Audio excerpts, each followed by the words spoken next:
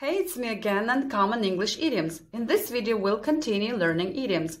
I believe this is one of the most effective ways to become fluent, since native speakers use them a lot, and if you don't understand what those idioms mean, whatever they're saying is not going to make sense for you. So today's pair of idioms is take the baton and pass the baton. First and foremost, let us find out what baton is. Baton is a stick passed or taken in a relay race by the front or back runners. And also, a baton is a stick-like object used by the conductor of an orchestra or by the police as a weapon. So this collocation can be used literally, referring to a process of giving or taking the baton in a relay race. However, it can be used figuratively as well. It is as an idiom. If someone takes the baton, they take over responsibility for something from another person. And if someone passes the baton, they give the responsibility for something to that person.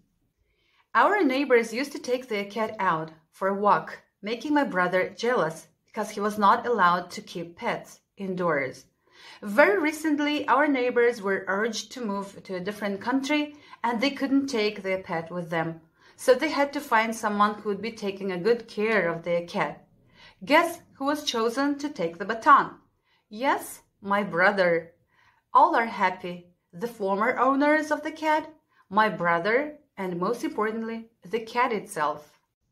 My folks and I decided I need to work harder in my studies. So what they did is that they hired tutors for me. And now I'm getting drilled the subjects into my head for half a day by my teacher at school. And when I get back home, my tutors take the baton. I am literally swamped.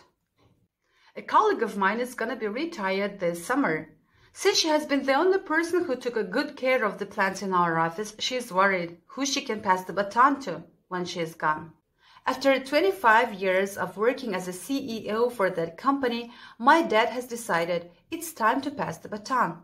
And don't be surprised if you run into slightly differently sounding idioms like pick up the baton which is the same as take the baton, and hand over the baton, which is exactly the same as pass the baton as you might have gotten it. Well, I need to head out. Hope these idioms make sense for you now. I've done my part. Now it's your turn to take the baton to come up with your examples in the comment section.